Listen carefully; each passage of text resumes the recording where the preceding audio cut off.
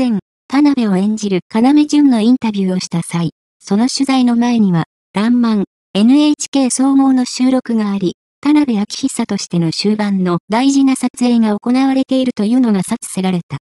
そのインタビューの中で洋派、田辺と又郎、神木隆之介の関係性について、又郎と田辺は両極ですが、どちらも間違ったことはやっていないとし、運です。そのプラスとマイナスがなかなか一致しない田辺と又郎のキャラを楽しんでいただければと思いますと話していた。5月某日の取材当時、この、どちらも間違ったことはやっていないという考え方は、かなり先の展開を知り、演じている要だからこそ出る言葉だなと感じていたが、本日記念すべき第100話を見て、その意味を汲み取ることができた気がする。偶然にも同じタイミングで、キレンゲションマに出会い、新種かどうかの研究に励んでいた田辺と又郎。その決め手となる果実の標本を一手先に手に入れた田辺は、ある結論にたどり着く。それは、キレンゲショウマは世界でも稀に見る得意な植物であり、この一種のみで、一つの属を構成する、新属新種であると。学名は、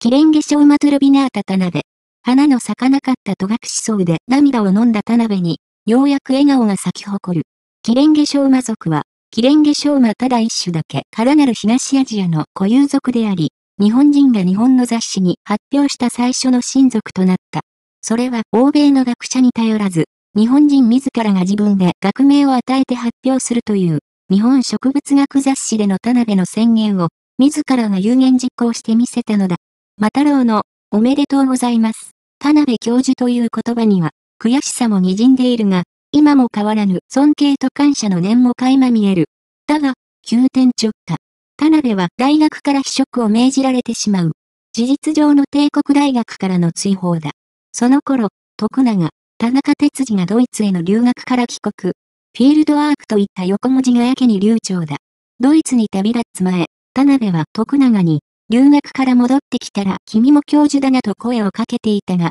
皮肉にもその言葉は現実となってしまっている。教授室の窓を閉め、帽子とカバンを手に取り、部屋から出ていく田辺。窓辺に残された動乱と野殺、キレンゲショウマの標本が暗示するのは、植物学の世界から離れることだろうか。ここで思い起こされるのは、里子、中田青渚が田辺に言った、旦那様が始めた学問には、続く方たちがいます。あなたが始めたんですという言葉。またろうと形は違えど、田辺が全国、全世界に植えた植物学者としての志の種は、芽吹き、枝葉となって成長している。思いは続いていく。その筆頭が徳永や畑野、前原明、野宮、亀田義明といった植物学教室の面々であり、広く見れば田辺邸に届いた手紙もその一例だろう。多忙な政治の世界から退き、植物学史にその名を刻んだ田辺は、里子や子供たちとの家族の中で何気ない日常を過ごしていく未来が見える。